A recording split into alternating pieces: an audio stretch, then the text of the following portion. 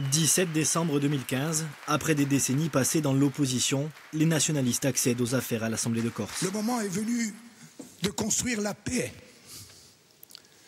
C'est le premier engagement que nous avons pris devant notre peuple. Siamo giunti qui in cui i militanti di un fronte di liberazione nazionale di Agorsica, morti per il nostro paese. Monsieur Gilles Simeoni est élu maire de Bastia. Une ascension débutée plus d'un an auparavant à Bastia. Gilles Simeoni devient le premier maire nationaliste d'une grande ville. Nous allons mettre un terme aux pratiques antidémocratiques qui ont trop longtemps caractérisé la vie publique dans notre cité et dans notre île. Des scènes de victoire devenues habituelles dans le camp nationaliste qui s'impose désormais comme le premier parti de Corse. En passant de l'opposition au pouvoir, les nationalistes auraient pu craindre de voir leur dynamique marquer le pas.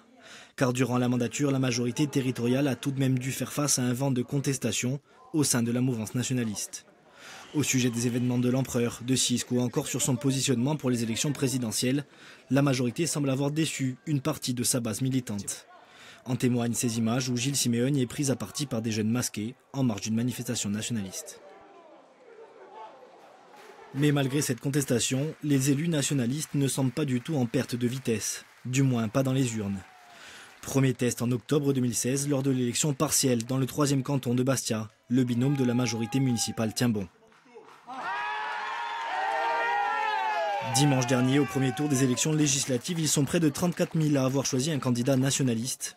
Sur toute la Corse, les candidats de Peragoursiga recueillent seulement 31 voix de moins que les listes Femagursiga et Corsiga Libera au premier tour de l'élection territoriale, alors que la participation a baissé de près de 10 points.